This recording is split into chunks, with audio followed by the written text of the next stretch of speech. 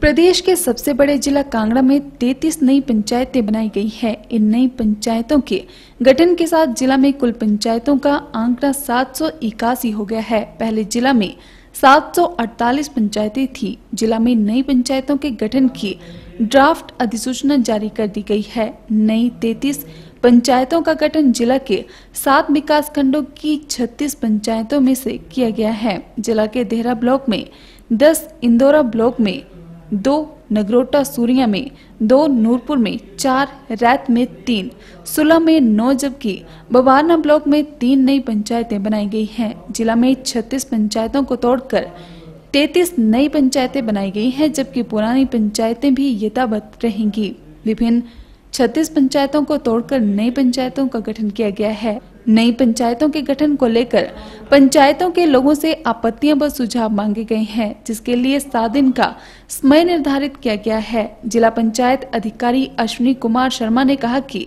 जिला कांगड़ा में 33 नई पंचायतों के गठन की ड्राफ्ट अधिसूचना जारी की गई है। पंचायत के लोगों से आपत्तियाँ व सुझाव मांगे गए हैं। सात दिन के भीतर ये प्रक्रिया पूरी करके सरकार को रिपोर्ट भेजी जाएगी।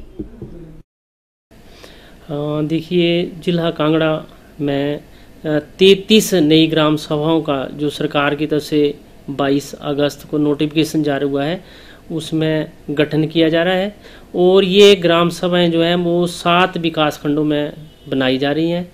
इसमें देहरा विकास खंड की दस, इंदौरा विकास खंड से दो, नगरोटा सूरिया विकास खंड से दो नूरपुर से चार, रैत से तीन, सुलह से नौ, और बभारना विकासखंड से तीन नई ग्राम सभाओं का गठन किया जा रहा है। जिला कांगड़ा में जो हमारा पिछली ग्राम सभाओं की संख्या थी, वो सात अड़तालीस थी।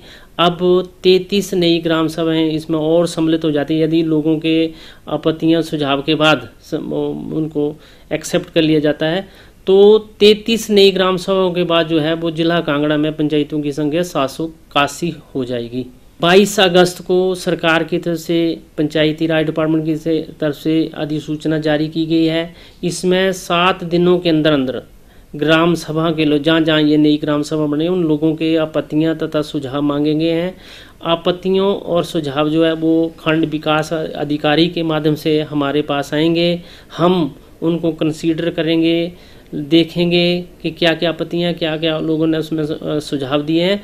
उसके बाद जो है, अंतिम फैसला जो है, वो माननीय उपायुक्त महोदय लेंगे और उसके बाद जो है, हमारी सिफारिशें जो है, वो सरकार को जाएँगी और उसके बाद जो है, वो पंचायती राज डिपार्टमेंट जो है, नई ग्राम सभाओं का अधिसूचना जारी करेगा।